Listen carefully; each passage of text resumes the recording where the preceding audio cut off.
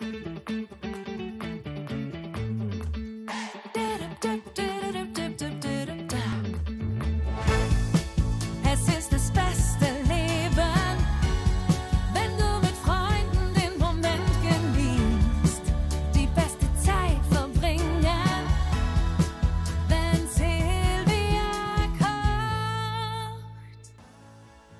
Herzlich willkommen zur heutigen Sendung. Schön, dass Sie mit dabei sind. In dieser Woche kocht ja eine junge Köchin aus Kärnten, die für sechs Jahre lang in Amerika gekocht hat. Und zwar bei niemand Geringerem als Starkoch Wolfgang Puck. Und heute feiert sie mit uns mehr oder weniger Thanksgiving. Eine amerikanische Tradition findet immer am vierten Donnerstag im November statt, also heute.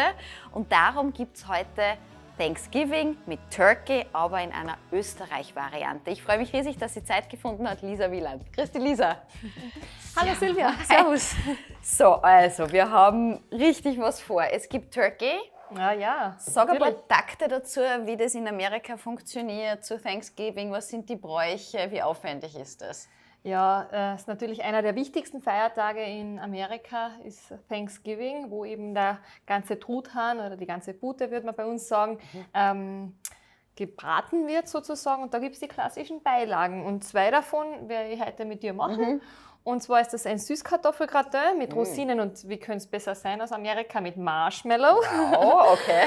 Ähm, also eher auf die süße ähm, Art und Weise. Und dann haben wir diesen wunderschönen Krauskohl, den wir dann auch noch mit etwas Speck ähm, schön sortieren werden und als Beilage dann servieren. Mit einer amerikanischen Gravy und den Turkey natürlich im Ganzen. Und in Amerika, das warst du ja sicher, warst ja auch schon dort, ähm, wird das dann eben familiengerecht richtig zelebriert und serviert und dann halt heruntergeschnitten vom Familienoberhaupt. Wir machen das heute. Du bist heute das Familienoberhaupt. Wir feiern zu zweit und mit Ihnen natürlich da draußen Thanksgiving. Die Lisa hat sie bereit erklärt. Und das sind jetzt gute puh, 7,5 Kilo. Was sagst du als Arzt? Ja, mindestens, ja. Es ist ein, ist ein Mädchen übrigens. Warum Ja. ist es ein Mädchen? Weil man, das weibliche Fleisch ist angeblich ein bisschen zarter, es ist kleiner, sind die auch. Mhm. Äh, also ist, die weibliche Form ist Pute, männlich wäre Puter. Man kann aber auch einfach Truthahn sagen zum männlichen oder Truthenne. Ist alles das Gleiche. In Amerika heißt es Turkey. Warum du Turkey Turkey heißt, dazu später noch. Bitte schön. Ja, also wir machen das so, ähm, um da der Vogel, würde ich jetzt einmal sagen, Sag wirklich, da der Vogel wirklich riesengroß ist ähm, und wir trotzdem den Salzgehalt so ähm, gleichmäßig wie möglich haben wollen, haben wir das schon gestern am Abend mit äh, in einer Lake ähm, eingeweicht Ja. sozusagen und ähm, das ist jetzt auch richtig schön angesoffen mit dieser Salzlake. Ähm, das ist einfach 5% äh, Salz im Wasser aufgelöst mit verschiedenen Gewürzen, wie Wacholder, Sternanis, Lorbeerblatt und ein paar Pfefferkörner haben wir reingegeben. Und jetzt füllen wir das Ganze mit unserem Wurzelgemüse. Da haben wir Sellerie und Karotten. Wir tun etwas äh, Rosmarin hinein, ein bisschen Knoblauch, ganz wichtig Knoblauch bei mir immer. Und natürlich der Zwiebel.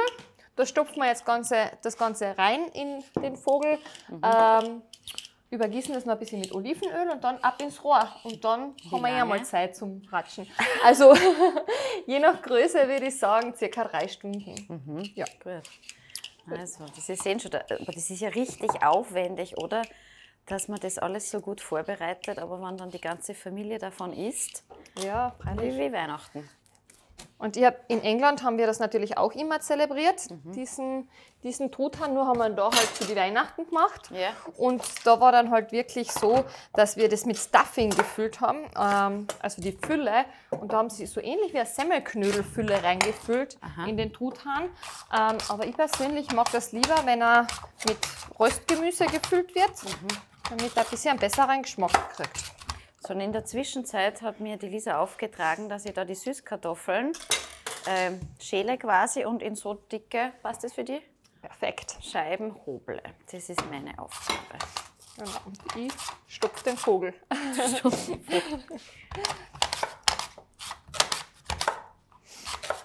Das ähm, Wurzelgemüse kann man ruhig in größere Stücke schneiden, ähm, da es sonst ja verbrennt, wenn wir es zu klein schneiden. Und es geht einfach nur darum, dass wir ein bisschen einen besseren Geschmack in die Innenhülle des Fleisches auch bekommen. So, wie viel brauchst du von denen? Wir haben eh nicht so große Kasserolle. Magst du mal Ja, ich schauen? würde den einen noch Den fertig, fertig machen und und, das reicht. ja. Es kommt immer auf den, auf den Hunger drauf an. So, jetzt nehme ich etwas Olivenöl, massiere den noch schön ein. Langsam wird es gefährlich, deswegen ich nehme mich da jetzt langsam raus aus der Okay. Gleichung. Das haben wir, das haben wir.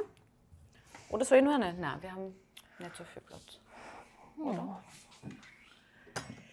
Jetzt darf ich was machen.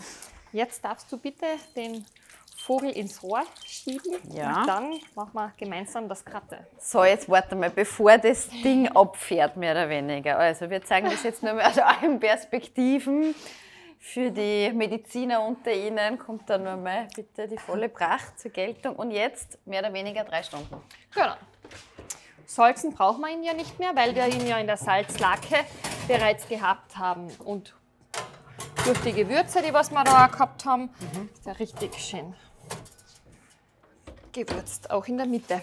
So, Top. perfekt. Und jetzt? Und jetzt geht es an die Süßkartoffel. Und dafür, ähm, also in Amerika wird ja alles etwas süßer gegessen als wie jetzt bei uns in Österreich. Ähm, dafür haben wir jetzt ein bisschen braunen Zucker. Man könnte auch Honig verwenden, also je nach Belieben. Ich mache es äh, original mit braunem Zucker. Wir verwenden etwas Butter, dann haben wir Sahne und Milch. Das ist die Basis von unserem Gratin. Und äh, wir reiben uns noch ein bisschen einen Knoblauch rein. Lisa- Hast du irgendwo die Reibe gesehen zufällig? Welche Reibe? Deine Lieblingsreibe? Meine Lieblingsreibe, ja, her genau. da. Und ich tue währenddessen den Grünkohl da einfach so vom Stingel befreien. Ja, ist das genau. in Ordnung? Das ist perfekt so, danke. Kannst ruhig in großen Stücken lassen, Ja. weil durchs Kochen nachher geht, Geht das eh jetzt zusammen. Gut. Warst du dann auch zum Thanksgiving feiern in Amerika vor Ort und hast mit irgendwelchen Kollegen mitgefeiert bei deren Familien? Genau, also unser Restaurant, das Bargo, wo ich gearbeitet habe, Mhm. das war zu Thanksgiving zu. Da hat jeder frei bekommen. Hm. Und das war natürlich sehr schön. Es hat nur zwei freie Tage im Jahr gegeben, wo das Restaurant zu war. Einmal war es der Super Bowl Abend und einmal war es eben Thanksgiving. Und zu Thanksgiving ähm, sind dann aber Freiwillige gesucht worden, die eben für, für private Familie zu Hause, Mhm. für eine sehr berühmte Familie ähm, gekocht hat. Und da habe ich natürlich freiwillig Ja. gemeldet. Das war eine super Erfahrung für mich. Gell? Darfst du sagen, welche berühmte Familie das war? Na, das darf ich nicht sagen. Das habe ich müssen unterschreiben. Also tatsächlich. Ja. Okay, okay. Die Lisa, die ist herumgechattet. Die hat schon für Will Smith gekocht. Für Johnny Depp hat sie gekocht. Für alle Gäste der Oscarverleihung. Wie oft hast du für die, bei der Oscarverleihung gekocht? Äh, sechsmal. Sechsmal. Also unser Sahne. Die bringen wir jetzt zum Kochen. In der Zwischenzeit reibe ich schon die Muskatnuss rein. Kartoffel und Muskatnuss ist bei mir immer ein Muss. Es geht nicht ohne. Ein, äh, ist ein ungeschriebenes Gesetz. Ob, egal ob Süßkartoffel oder normale Kartoffel, das, Muss zusammen sein. das muss einfach, genau. Aber erzähl, erzähl einmal, wieso Thanksgiving? Oder wieso Wieso Turkey? Turkey? Ah, ja. Wieso, das ist Wieso- eine interessante? Geschichte. Warum heißt es Turkey? Die Geschichte ist folgende. Diese Perlhuhnrasse, von der der, Türk, der heutige Turkey stammt, Mhm. der ist von den amerikanischen Ureinwohnern eigentlich schon gezüchtet und kultiviert worden. Und dann sind die spanischen Seefahrer gekommen nach Amerika und haben diese Perlhuhnrasse über den Seeweg über Nordafrika und die Türkei nach Europa gebracht. Und die Engländer, die quasi dieses Perlhuhn dann verarbeitet haben als Truthahn, haben das Turkey genannt, weil das ja anscheinend aus der Türkei gekommen ist über den Seeweg. Und diese englischen Siedler sind dann nachher nach Amerika und haben den Turkey quasi wieder zurück ins Ursprungsland gebracht, aber mit dem kleinen Umweg über Nordafrika und die Türkei. Sehr interessant. Also eine weite Strecke auf sich genommen, der Turkey. Mehr oder weniger, um dann wieder zu Hause zu landen. Ja, es ist ja fast so wie meine Geschichte, oder? Ich war lang unterwegs und jetzt bin ich wieder daheim in Kärnten. In Kärnten. Und wir freuen uns, dass du wieder da bist. Ja, und ich mir erst. Ist Ist doch schön bei uns, oder? Absolut, wunderschön. So, die Süßkartoffeln ähm, tue ich jetzt ganz kurz vorgaren in unserer Milch mit Sahne, in dem Gemisch. Einmal ganz kurz aufkochen und den Rest macht dann eh das Backrohr. Aber einfach mal Vorzug an. Magst du Süßkartoffeln? Ich liebe Süßkartoffeln, Ach, auch. aber in der Variante habe ich sie noch nicht gehabt. Also deswegen bin ich höchst gespannt, was darf ich mit dem jetzt machen? Den, wenn wir jetzt in einen großen Kochtopf, ähm, den können wir schon einmal warm machen. Ja. Und dann haben wir da diese wunderschönen Speckstücke. Und zwar sind das einfach die Schwarte vom Speck, was man sonst vielleicht äh, wegschmeißen würde, weil man es ja nicht isst, die Schwarte. Genau diese Schwarte können wir immer aufheben und dann dazu verwenden, um die Pfanne auszureiben. Und dieses Fett, das geht dann in den Topf hinein und gibt uns ein super Aroma später für den Kehl. Und lässt du diese Speckschwarte während dem Kochen drinnen und nimmst Ja. sie später raus? Genau. Also ich lasse die bis zum Schluss drinnen. So kriege ich noch ein super schönes, rauchiges Aroma. Und das riechst du ja jetzt schon schon, richtig, ja, ja, wie eben dieser typische Speckgeruch. Mm. Dann Und Das heißt, könnt ihr den Kehl geht. dann auch schon reingeben? Den Kehl können wir dann auch schon rein. Wir können jetzt noch ähm, ein Zehen Knoblauch dazugeben. Entweder man stupst den Knoblauch mit einer Nadel an, gell? oder so wie ich,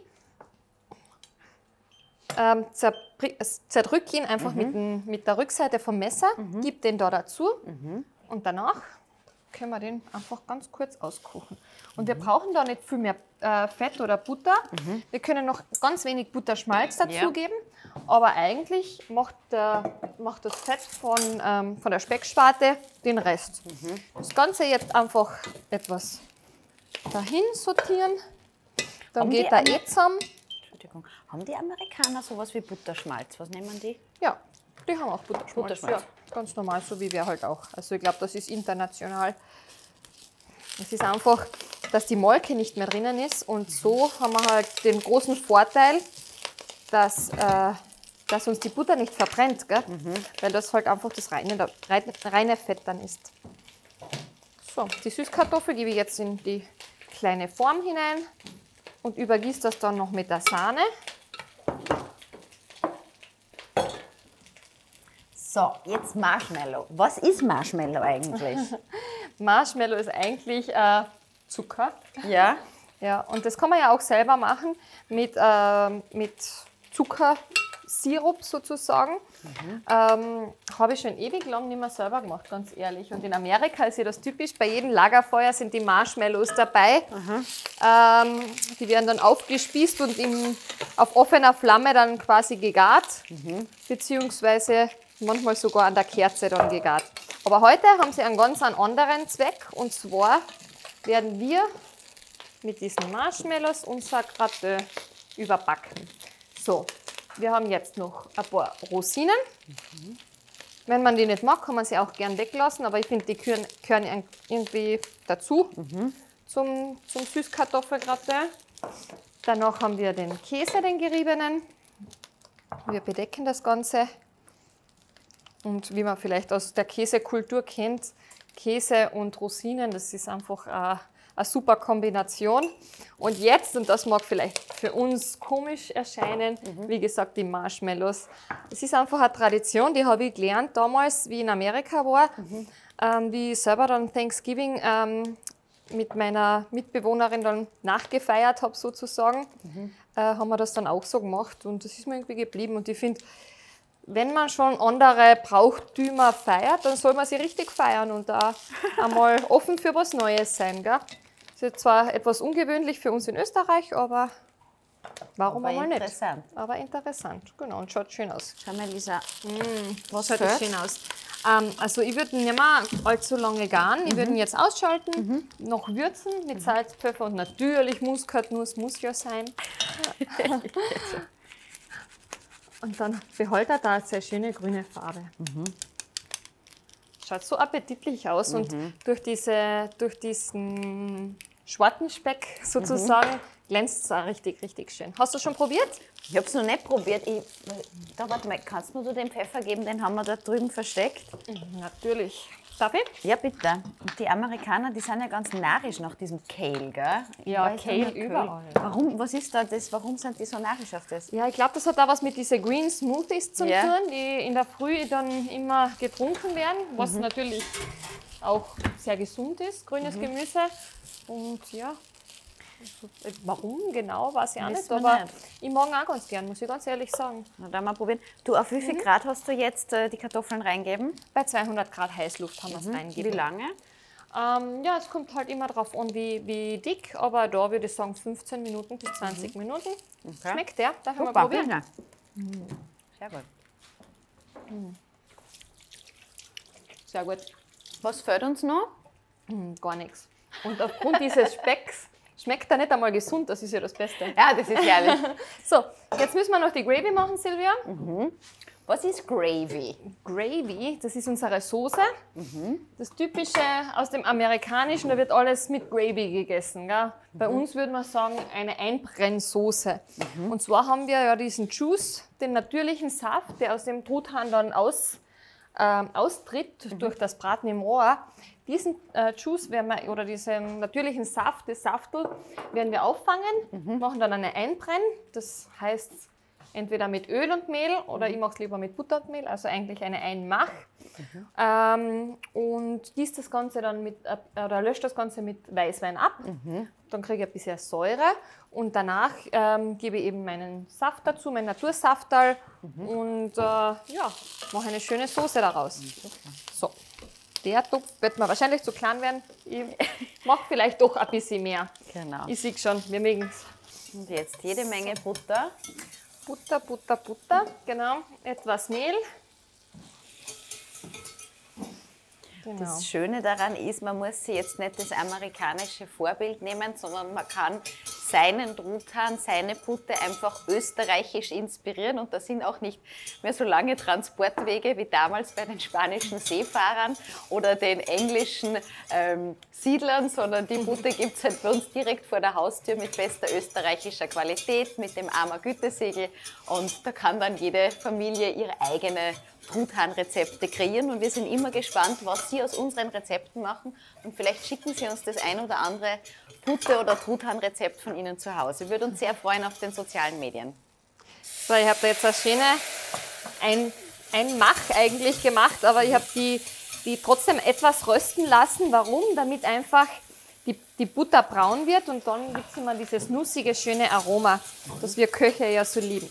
Wenn ich etwas mit Weißwein ablösche, bitte immer darauf achten, dass man den Weißwein zuerst ähm, total reduzieren lässt, damit der Alkohol verkocht und auch die Säure etwas weggeht. Ja, und jetzt verwende ich eben diesen Bratensaft und gießt das Ganze auf. Und das ist die ganze Kunst am Machen einer guten Gravy. Das ist großartig. Dann lassen wir das Ganze noch ein bisschen einkochen. Können das dann noch abschmecken. Wenn du magst, können wir gerne noch etwas frischen Rosmarin hineingeben. Alle, das machen wir doch, den haben wir ja. Soll ich da den hacken? Ja, einfach ein bisschen abzupfen. Ein Ja. paar Nadel, Nadeln reichen schon.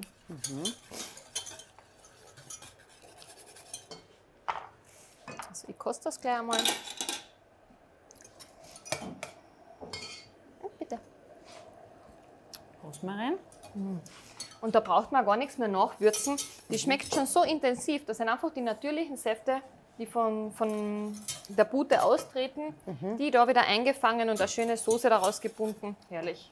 Und jetzt warten wir einfach, dass alles auf dem Punkt fertig ist und dann wird serviert. Wir werden tranchieren und wir genießen einfach gemeinsam mit Ihnen zu Hause ein tolles Essen. Bis gleich.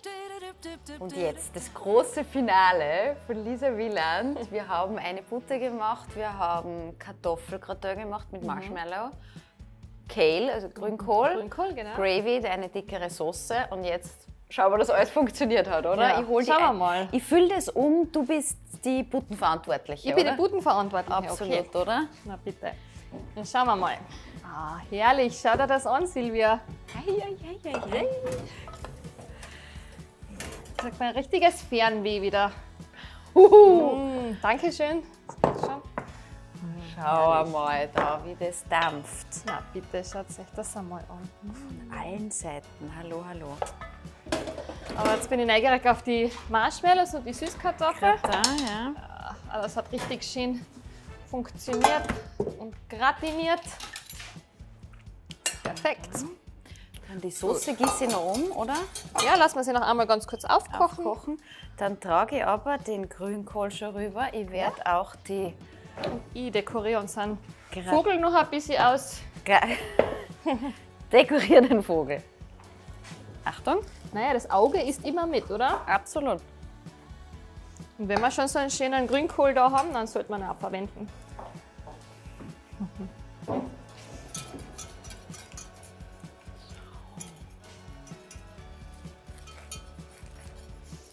Wir haben übrigens alle Rezepte von der Lisa für Sie zusammengefasst auf extra.orf.at.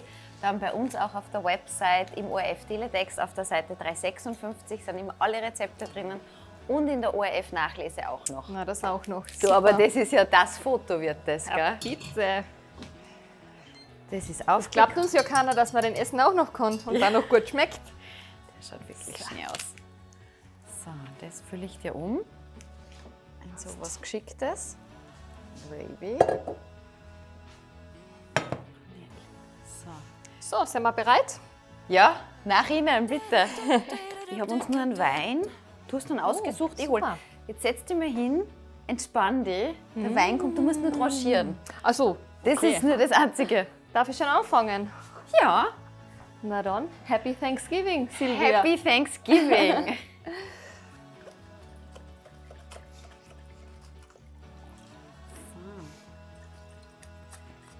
Da bin ich gespannt.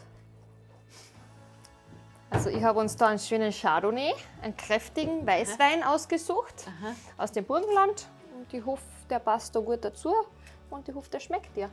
Hast du das jetzt so toll abgelöst da? Ist gleich gegangen? Natürlich, wenn er richtig gegart ist, geht das ganz einfach. Und gelernt ist halt gelernt. gell? Und gelernt ist gelernt, natürlich. So, wie groß ist der Hunger? Groß.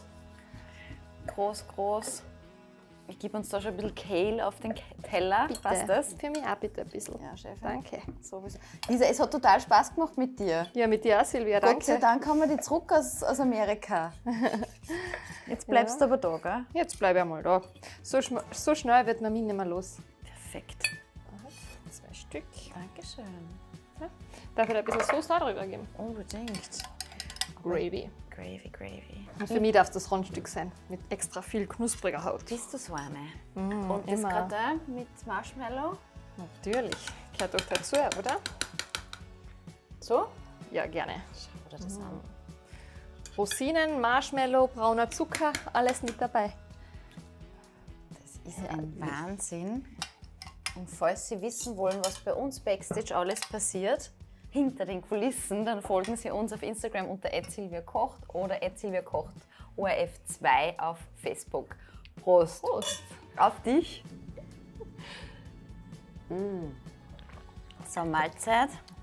Der Wein schmeckt hervorragend. Passt sicher super zur Butter. Schau, die zerfällt ja schon fast, die Butter. Das ist ja was Feines. Ja, und trotzdem nicht trocken, das ist ja das Wichtigste. Na gut. Wir hoffen sehr, dass wir Ihnen ein bisschen einen Appetit gemacht haben. Aufs Mm. So saftig. Das letzte Wort der Woche hast du, bevor das Team das Set stürmt. Ja, danke. Es war eine aufregende Woche mit dir. Ähm, hat mich sehr gefreut, wieder mal neue Erfahrungen vor der Kamera zu erleben.